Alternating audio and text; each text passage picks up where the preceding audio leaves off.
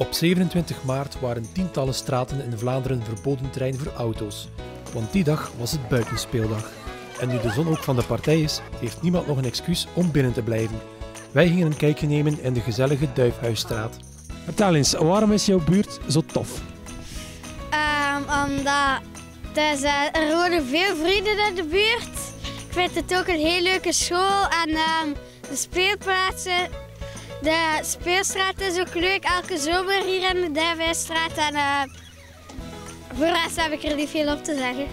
Ja, in mijn buurt zijn er veel vrienden van de school en dat is kei tof. eh, als het zo warm weer is. En het is zeker nu dat het buitenspeeldag is, dat iedereen samenkomt en iedereen samenspeelt. Natuurlijk zonder ruzie. En dan iedereen met zijn fiets en met zijn skateboard gaat. Het is een heel leuke buurt, iedereen kent elkaar, de kinderen kennen elkaar. De meesten gaan naar dezelfde school, eh, wij kennen elkaar, we drinken een tasje koffie, de aperitieven. eh, ja, dat is plezant. Buitenspeeldag heeft als doel kinderen aan te zetten om meer buiten te spelen. Iets wat de ouders in de Duifhuisstraat alleen maar kunnen toejuichen. Soms moeten we ze wel een beetje pushen. Ze zijn redelijk snel eh, gericht naar de computer en tv-spelletjes, dus we proberen dat een beetje in te pakken.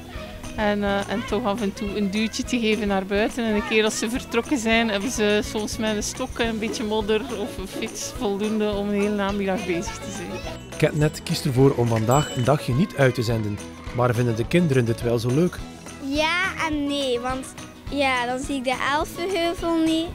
Ja, en anders wel leuk, dan kan ik buiten spelen. Ik vind het juist tof dat ze niet in de luie zetel zitten. In plaats, plaats daarvan dat ze naar buiten gaan en spelen. Hè. Gemengde gevoelens dus. De buitenspeeldag heeft in ieder geval zijn nut bewezen. Mocht Catnet nu elke dag of vandaag nu uitzenden, zou je dan sowieso buiten spelen of zou je toch naar Catnet kijken? Eh, ik zou sowieso buiten spelen. Ik stel nog een klein beetje op mijn catprofiel en dan naar buiten gaan.